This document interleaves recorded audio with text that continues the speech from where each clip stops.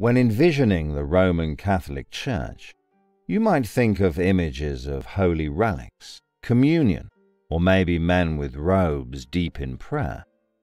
For myself, however, all I can think about now is the horrible acts committed by Pope John XII throughout his tenure as leader of the Church.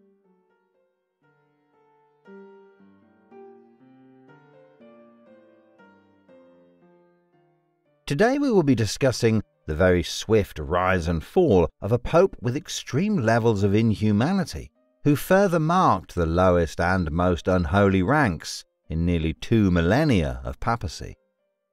In recent years, you might have seen a Hollywood series regarding a young pope committing heinous crimes against his subjects, the portrayal of a power drunk young man who holds one of the most influential seats in the world.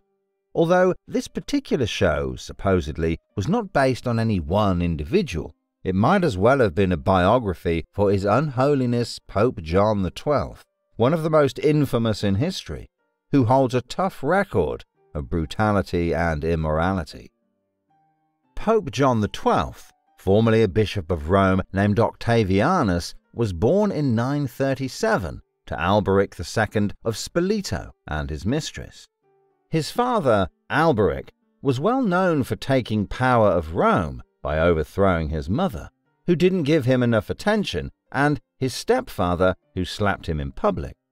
When Alberic was on his deathbed, he made several elitist families, and even the current dying pope, swear that they would vote in his son, Octavianus, upon the death of this current dying pope.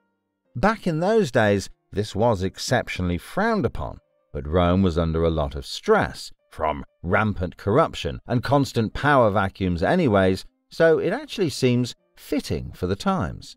It was like a constant game of King of the Hill, but with murder instead. Within a year, Octavianus was thrust into power at the age of 18, becoming the youngest owner of the throne to rule the Papal States, ruling from 955 to 964. Ah, yes, and he changed his name to John, officially marking his transition into Pope John XII. John XII really hit it out of the park when it comes to corruption, of course, and actually shined a little bit of light on how bad the corruption was becoming, and how the systems in place were failing the people of this once great empire. Certainly, John was the youngest pope in history.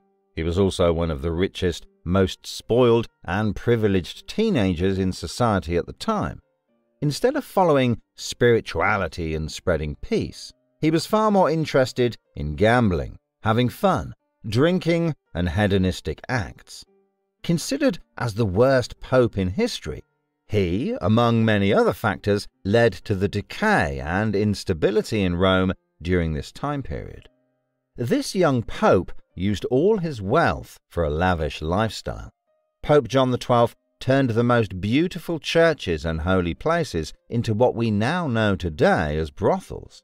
As a power hungry teenager, already in one of the highest seats in Roman society with many maidens, it was no surprise when he made one of his completely qualified mistresses a governor of a papal city. John was simply attempting to court this fine woman but she was also the widow of a high level aristocrat. Clearly, she had higher standards than the rest. After noticing John's megalomania, she turned John to her advantage. The woman herself was highly regarded by many, and Pope John had tried persistently to please her. She folded to his desires only when John gave her control of numerous Italian cities. Glad to see some people profiting off the situation. The Pope showered women with his wealth, which was largely revenue collected from rising costs of religious donations. John also generated revenue by offering bishophood to the highest bidders.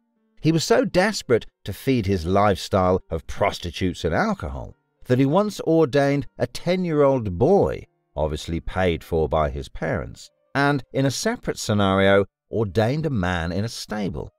Imagine putting together a whole ceremony for your son to receive his new elitist status, like a bar mitzvah or a wedding, and the other guy just does his in a stable.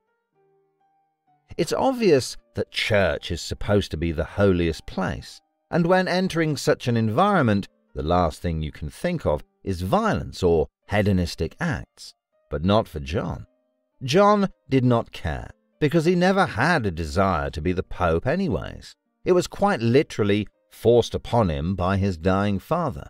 In order to raise funds for all the parties, John also made the pilgrimage to Rome much more expensive through extra donations and overall expenses. Only the richest people could afford this journey. He justified his decisions by claiming divine intervention. Basically, God made me do it. It was a great way for him to defend himself and maintain allies with the wealthiest Roman elites. Stories such as these paint a much clearer picture of the Papal States under the rule of Pope John XII. Little did this young Pope know that the more he was implicating himself in all the malfeasances in the papacy's history, he would also be inviting new enemies. His poor judgment and decision making led to the gradual decline of society within Rome. Pope John's extravagant lifestyle left him with no wealth. Soon he and Rome altogether were losing resources rapidly, and thusly was put under an immense amount of stress due to this poor leadership. One of the greatest threats to his throne was Berengar II of Italy, the nephew of Pope John XII's stepfather who succeeded as the King of Italy.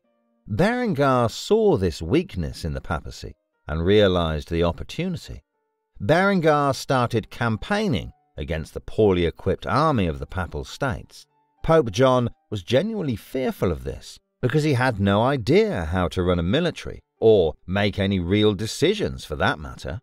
In 960, Berengar's army had invaded the Papal States.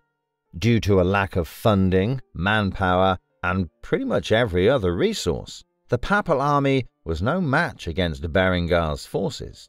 With options running dry, Pope John XII had to fall at the feet of Otto of Saxony, East Frankish king, later known as Otto the Great. In exchange for help and support from Otto to defeat Berengar, Otto demanded to be named the Holy Emperor of Rome. Otto was a great, formidable warrior and also an incredible wartime general. He officially succeeded in conquering Bohemia and expanding his territory, also unifying German tribes into one kingdom. According to historians, he was seen as the very image of Christian piety and chivalry. Otto's sights were set on bringing the whole area to its former glory, as it was under Charlemagne. Keep in mind, John was only about 23 years old at the time of all this happening, and most of his free time was spent enjoying humanistic pleasures and murdering his own citizens, rather than learning military techniques or gaining actual political influence. In the eyes of Otto, John's appeal for help against Berengar was quite frankly a young and ignorant ruler asking for help bailing himself out of a sticky situation. Otto, realizing this sticky situation and opportunity at hand, took advantage. A little game of I scratch your back, you make me Holy Roman Emperor. Pope John, of course, had no other option but to agree and promise the throne. Soon after defending the Papal States against Berengar, Otto became the first Holy Emperor since 924. He also made John sign a papal treaty to limit his power. Many citizens were deeply concerned and very unhappy to see a German becoming a Holy Emperor.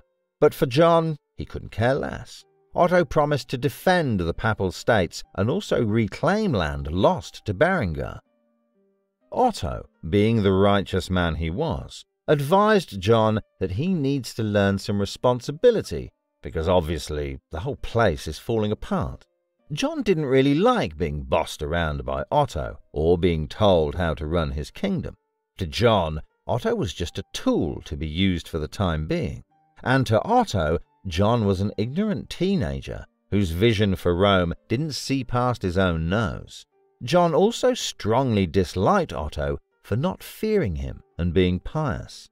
Otto wanted John to change his actions and would discuss the issues related to the church. For John, it was something very boring. Surprisingly, Pope John was never really a trustworthy individual. After all the support and help he received from Otto, as soon as Otto had left to fight, Pope John started forming a plot against Otto. John perceived that Otto was abusing his power that he had bestowed upon him. Rather, John wanted an instrument that he could utilize to enact his own policies and desires. A letter sent to Otto while he was away fighting stated, The palace of the Lateran, which had once sheltered saints, was now a harlot's brothel. Because of this conflict between Pope John and Emperor Otto, John became vicious and began plotting the downfall of Otto. John would even go so far as to start forming an alliance with none other than, yes, you've guessed it, Berengar and his son, Aldebert. Fortunately, John's constituents, for lack of a better term, realized that someone was finally standing against their horrible ruler. In the eyes of the citizens, Otto was someone who could control John and at least implement some sort of order. In fact, John's own servants would send letters to Otto, stating that the person he was aiding was the same person plotting against him. This became one of the most important turning points of the entire situation, at least in Otto's perspective. As soon as Otto was informed of these dealings with the very people he was fighting, he was furious and livid for obvious reasons, and began his journey back to Rome to confront this wild pope. Meanwhile, John, informed of Otto's return, was sneakily trying to make a getaway with all the papal treasures to Tivoli with his new friend Aldebert, rather than face Otto and the German army. Word of Otto's arrival had spread throughout the whole country. However, John enjoyed his time away from Rome because all of the earthly lavishes he had taken with him were comforting, and in his eyes showed that he was safe, if only for the time being. Upon Otto's return from battling Berengar, he had found that Pope John had fled the empire on a very well timed hunting trip. Otto then gathered a council of high ranking church officials in order to officially try John for his crimes.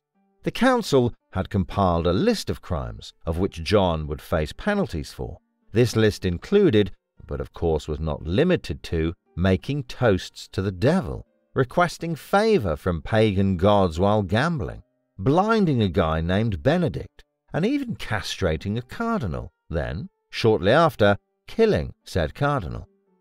Otto had told John that no harm would come to him if he just came back and answered to these accusations, which is sort of believable because previously Otto had attempted to calm the leaders of the church by basically stating that he is only a boy and that he just needs a good, strong father figure to teach him about responsibility. You could say Otto had a sort of soft spot for John. Either that, or he was just more concerned with reclaiming the motherland and didn't want to deal with it. Pope John took extreme offense to the accusations and replied by essentially giving the equivalent of a no you to the bishops and Otto, promising to excommunicate them if they tried to put a new pope in place. The church officials, confident in Otto's abilities to protect them, excommunicated John and elected a new pope named Leo VIII. Believe it or not, Roman citizens were furious with this decision because they viewed Leo as a puppet for the Emperor Otto, who wasn't even a Roman in the first place. The citizens tried to revolt, but their efforts were squandered by Otto's occupational forces. Due to the ongoing war with Berengar, Otto was unable to remain in Rome and contend with the riots and turmoil. He returned to the battle, confident in his interim pope's abilities to maintain the empire. Almost instantly after Otto left Rome, John made his coincidental return to reclaim the papacy for himself. John proceeds to enact revenge on all the bishops, cardinals, and other church officials that tried to remove him from the seat of power. There are many stories of him cutting off people's hands, tongues, and other body parts. In retaliation to Otto's council, John got together his own council and undid all the changes that Otto made and also excommunicated poor Leo VIII. a couple of months following his return and rampage, on May the 14th in the year of 964, John suddenly passed away. Historians are not at a complete agreement on exactly how he died. Some say he had over-exerted himself while in the sheets with his mistress. Others say that he passed due to complications from getting horribly beaten up by one of his mistress's husbands. I prefer the latter because it is funnier and fits the story quite nicely. But I'll let you decide what you want to believe. And that, my friends, is the story of Pope John XII, worst pope in history. To think this all started because Alberic just wanted to keep the royalty in his bloodline. I hope you enjoyed the story, and if you did, please consider liking and subscribing. Thank you all for listening, and I hope to see you all in the next one.